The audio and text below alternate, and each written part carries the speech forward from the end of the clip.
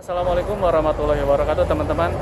Uh, Bagaimana kabarnya untuk hari ini teman-teman? Mudah-mudahan saya doakan selalu dalam keadaan sehat walafiat ya Tidak kurang saat apa pun juga.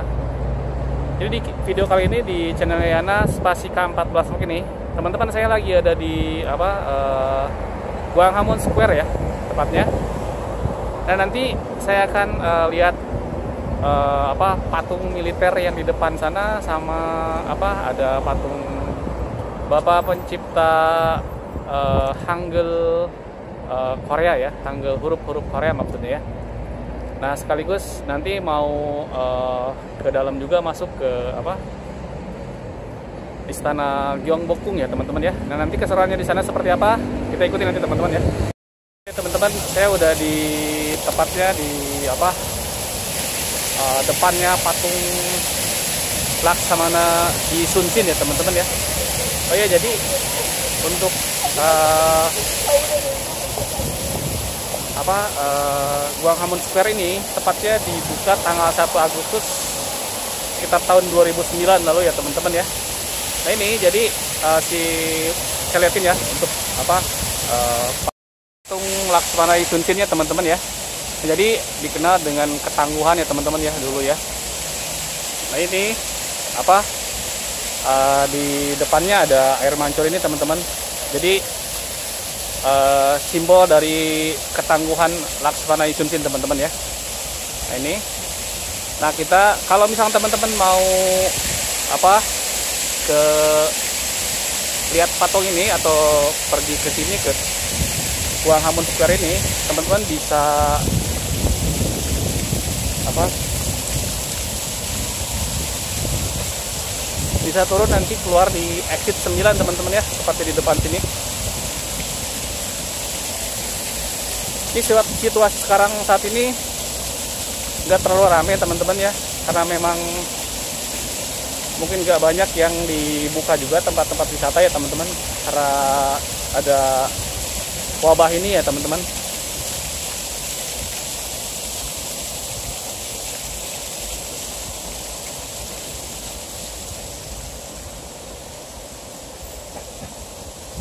ini hari ini memang benar-benar panas banget ya. Terus cuacanya juga langitnya biru teman-teman ya.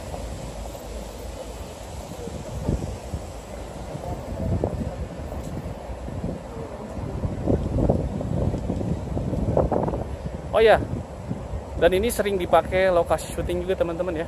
Salah satunya drama Korea yang lagi uh, ngehit sekarang ya The King. Uh, siapa uh, Lee Min Ho ya. Nah ini teman-teman bisa keluar lewat sini ya. Exit 9 sini ya. Nah itu satu lagi. Kita pergi ke apa?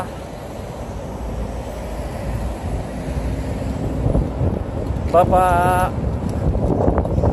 pencipta uh, huruf Korea Hangul ya Bapak Sejong Raja Agung Korea teman-teman ya.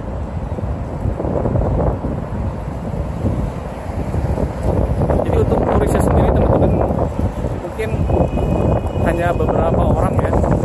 Kebanyakan memang lokal ya yang datang ke sini. Tapi jalanan memang ramai teman-teman. Udah normal biasa ya tapi tetap di sini kita juga apa dianjurkan tetap harus pakai masker kalau keluar teman-teman ya. Dan disarankan tidak apa mengunjungi dulu tempat-tempat yang kayak hiburan yang terlalu banyak orang teman-teman ya. Jaga jarak lah intinya ya teman-teman. Dan harus jaga kesehatan ya. Jaga jaga kebersihan ya teman-teman ya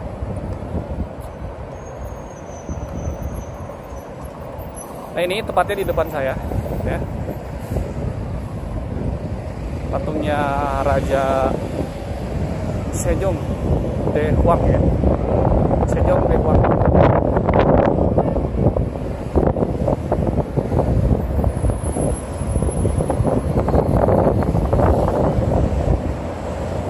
Ini bapak pencipta apa huruf Korea Hangul ya teman-teman ini tepatnya. Yang biasanya di sini apa?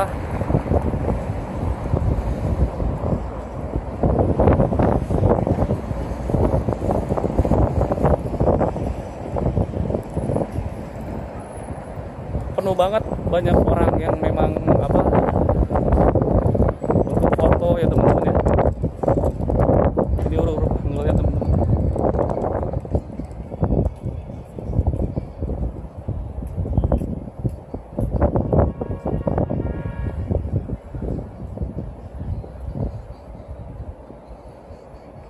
itu kita ke depan lurus terus ke istana Gyeongbokgung ya teman-teman ya. Nah, nanti di dalam seperti apa kita lihat ke depan nanti teman-teman ya.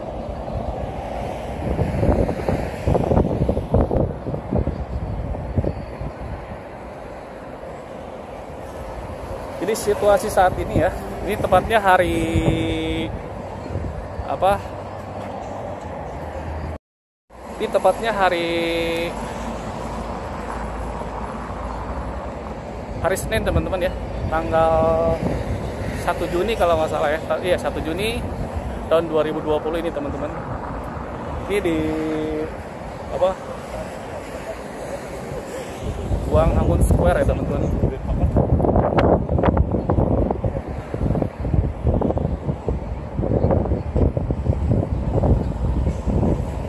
Jadi saya banyak waktu teman-teman ya bisa pergi ke mana-mana, tapi ya tetap saya juga nggak mau tiap hari pergi keluar karena memang apa situasinya lagi seperti ini. Ya teman-teman harap dimaklum saja.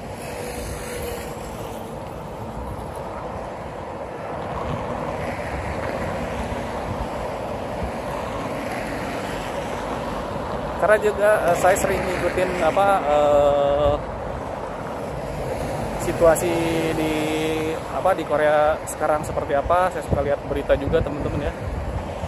Kadang-kadang saya lihat di apa info KBRI juga teman-teman. Jadi kita bisa lihat situasi saat ini terus kita harus seperti apa dalam menghadapi apa eh, COVID-19 ini teman-teman ya. Yang harus dilakukan eh, kita sebagai apa eh, pendatang di sini teman-teman ya.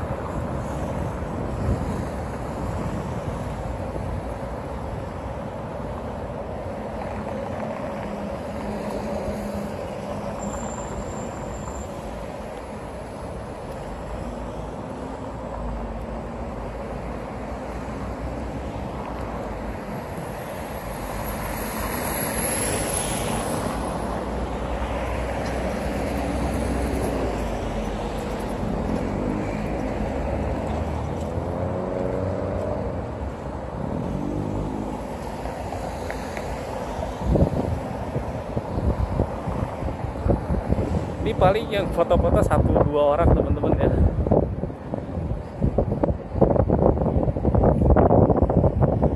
Biasanya tahu sendiri teman-teman di sini itu apa tiap musim pasti banyak orang yang pergi ke sini untuk mengunjungi ini karena memang mungkin nggak abdul ya teman-teman kalau misalkan ke Korea tidak mengunjungi eh, apa dua patung tersebut ya teman-teman yang di depan tadi sama eh, istana Gyeongbokgung itu teman-teman ya.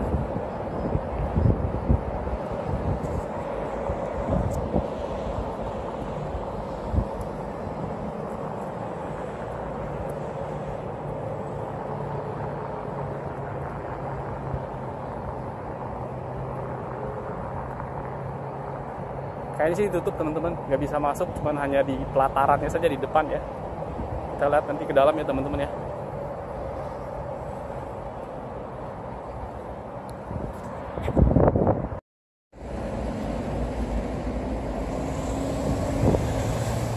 Lumayan agak sedikit lama ya teman-teman ya untuk lampu merahnya sendiri.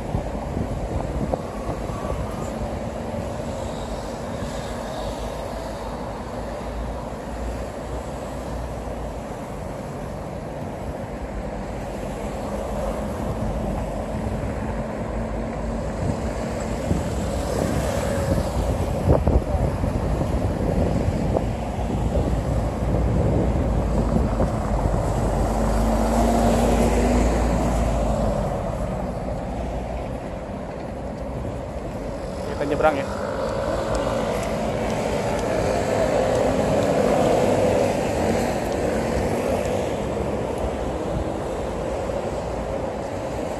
masih ada satu apa zebra cross lagi ya? Teman-teman satu penyeberangan lagi.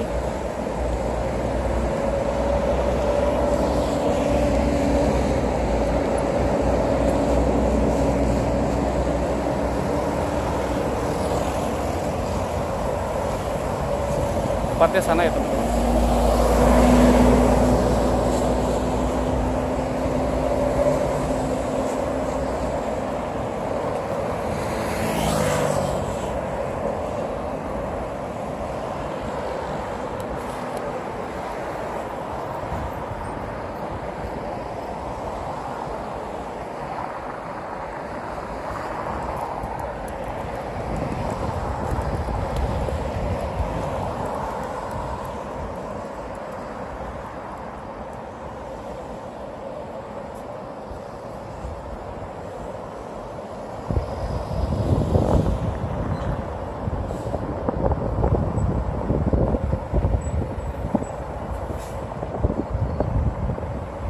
masih merah ya teman-teman ya.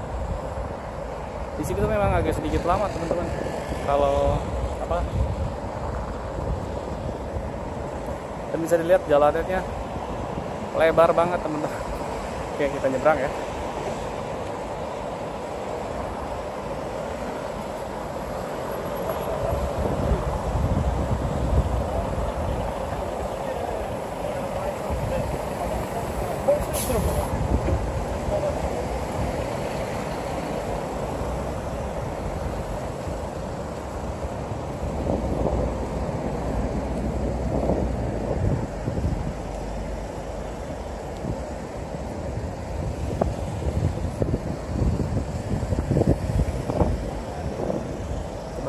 ya.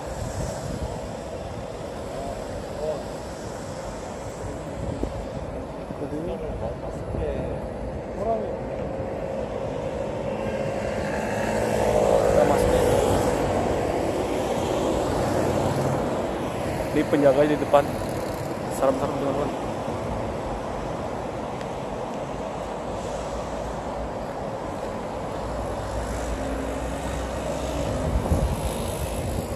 Ini situasi saat ini di Istana Gyeongbokgung teman-teman. Ini bisa dilihat ya. Yang biasanya rame di sini teman-teman ya.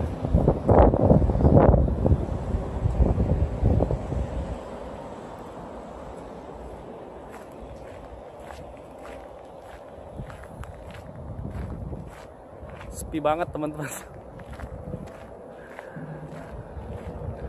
Bisa dilihat ya.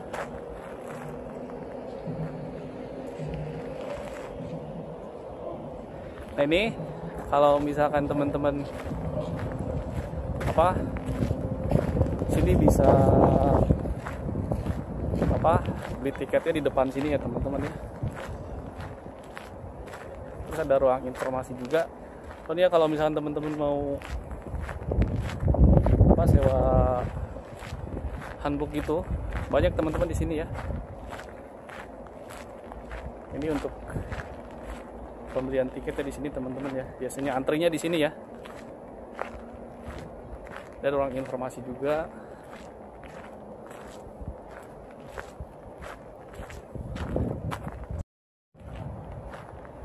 Ini biasanya bisa masuk teman-teman ini dijaga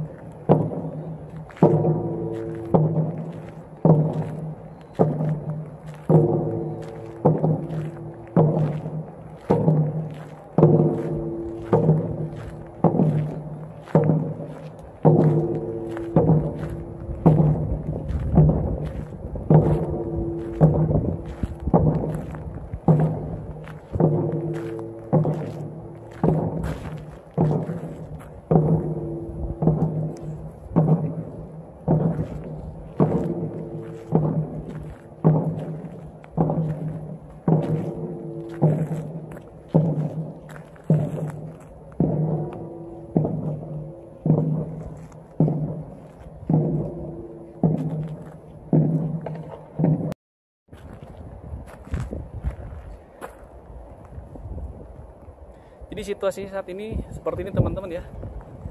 Yang biasanya tiap hari itu nggak pernah apa nggak pernah sepi dengan pengunjung ya teman-teman. Jadi selalu ramai terus di sini ya. Nggak apa nggak. Semua musim lah intinya ya ramai terus di sini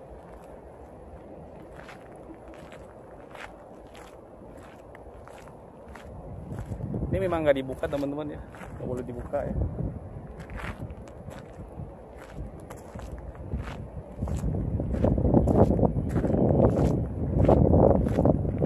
Mungkin entah sampai kapan ya teman-teman ya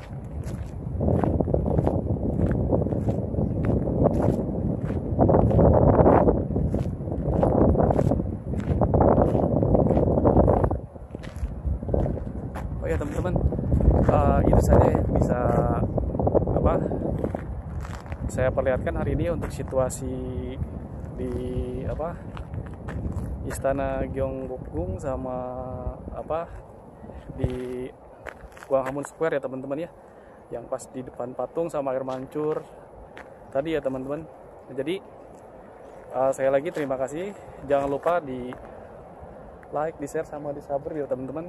Jadi nama channelnya Yana Spasi K14 Vlog ya teman-teman ya. Jangan lupa ya oh ya selalu jaga kesehatan ya teman-teman ya. Jaga kebersihan juga.